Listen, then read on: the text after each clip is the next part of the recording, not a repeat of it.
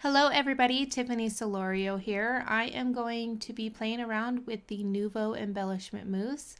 I uh, was sent these products from uh, Tonic Studios, but I do want to say that opinions and everything that I share in this video is my own opinion. I do truly love this product. There is so many different uses for uh, these Nuvo embellishments and so many different ways you can use them, and that's why I love them because I love getting products that uh, you can use in multiple different ways. I do a lot of mixed media projects, so I like having the same colors for the different layers that I uh, build upon uh, my projects. So I hope you guys enjoy this video. If you have any questions, feel free to leave a comment down below. The first way I'm going to show you how to use the Nuvo Embellishment Mousse is to create your own spray. So I have this spray bottle from a Tonic Studios and I added a little bit of water and then I'm going to add a generous amount of the embellishment mousse to the bottle and then you're going to shake it up really really well. Uh, this color is really light, so it does not, you know, it's not going to show up really dark when you spray it, but the darker the color, obviously if you use black or the navy blue, then it's going to be uh, darker on your project. So I really love using sprays on my project and um, I love that you can use these and make your own sprays. You can use any spray bottle to create your sprays. I just had one of the Tonic Studios uh, on hand. So the second way I'm going to share with you is using it with a spatula or a palette knife and using it with a stencil. So this is a Tonic Studios stencil and you could see that it spreads really really nicely and you can control um, how much you want on um, your project so some areas I am putting it on thicker. In other areas, I am going a little thinner. And you could see here it spreads really nicely, just as is if you want some texture. It is really, really creamy, and the more you work with it, I think the more it spreads nicely. Uh, but you could see here that I'm going to pounce on my palette knife and then it holds its shape really, really well. So you can create some really cool, unique texture that way too.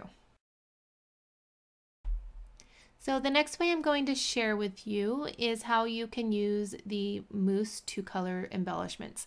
So this is a uh, resin frame from Prima and I just happen to have it on my desk. That's why I'm using it. And first I was going to use my finger but then I remembered I had the um, the Nuvo brush and this is super cool. It's really thick bristles and I am going in a circular motion to get in all of those um, crevices. You could see it's a little intricate in a couple areas, so you want to make sure to work all of that mousse in. And you could see that I am just going over the whole frame and then the sides as well. So really, really cool that you can do this. It's not as concentrated color as, you know, if you were just to put it on the paper, you know, like as I showed before, using it as um, with a stencil, but it's still a neat way to create unique embellishments. So I pulled out a darker color just so I can highlight some of those raised areas and just some of the different texture on, uh, on the frame. You can create really cool embellishments this way and it just looks really, really neat. You can also play around with the different surfaces, which would be really cool too. So I'm just going to show you a little up close. You could see there. The next way to use these Nuvo embellishment mousses is probably my favorite. I love that you can watercolor with these and I love that there's just a little bit of shine to them and you can create really cool projects. I just have some regular cardstock here and I'm going back and forth between the color that's watered down on the mat and then uh, some color, the darker color and then the lighter color. And I'm just playing around just to show you that you can use them as watercolors.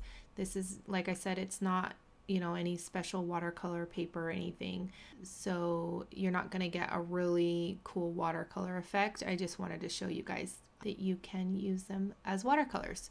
So I use the paintbrush to splatter on some of the color too. So really cool techniques.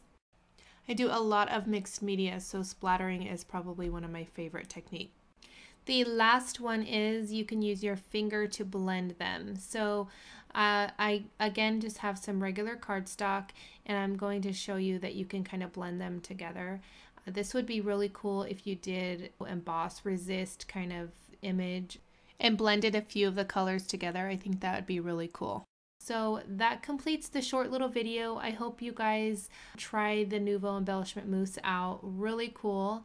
And be sure to check out my channel. I will have a link down below. I have um, some videos on how I use some of these products over there as well.